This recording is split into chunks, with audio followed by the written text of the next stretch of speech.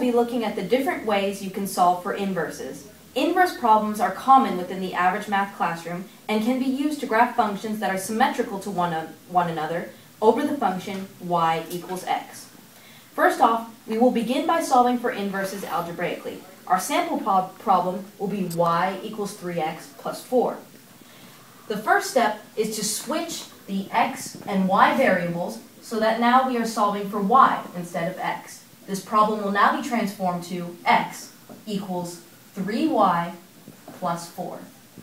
We then subtract 4 from either side so that we have x minus 4 equals 3y.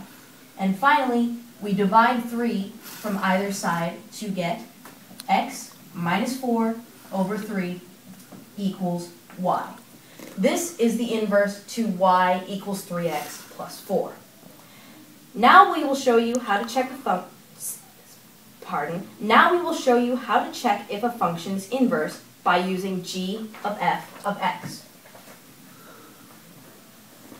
For this problem, we will have g equal 3x plus 4 and f equal its inverse, which is x minus 4 over 3.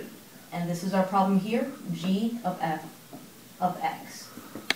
When you write this out, you will have 3, and then in parentheses, x minus 4 over 3 plus 4.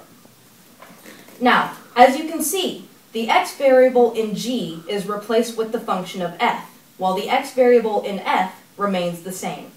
Keep in mind that it does not matter what number or variable is in place of the x in g of f of x.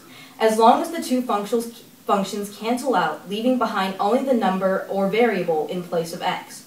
As long as they cancel out, you will know that the two functions are inverse. And in this case, they are. As you can see, we have 3 and 3 again, both canceling out. 3 times 3, 3 divided by 3. And then we have a negative 4 and a positive 4 that also cancel out, leaving behind only this x variable. Finally, we will show you how to graphically solve for inverses. As you can see by the graph drawn by my partner here, the two functions are inverse because they are reflections of one another reflected over the function of y equals x. When you want to write out an inverse function of a pre-existing function, remember that in order for it to be inverse, y must equal x, meaning that the x and y points must be flipped. For example, if I have graphed y equals 3x plus 4, and I want to find its inverse function, I simply flip the x and y points, and voila, I have my inverse. Whoa! Whoa! now, here are some sample problems to try. Pause the video and solve each problem. When you are done, unpause the video to reveal the answers. Whoa! Really? Here are the answers. Did you get them right?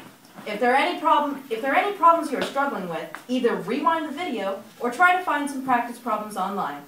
I hope this video has provided you with some useful information.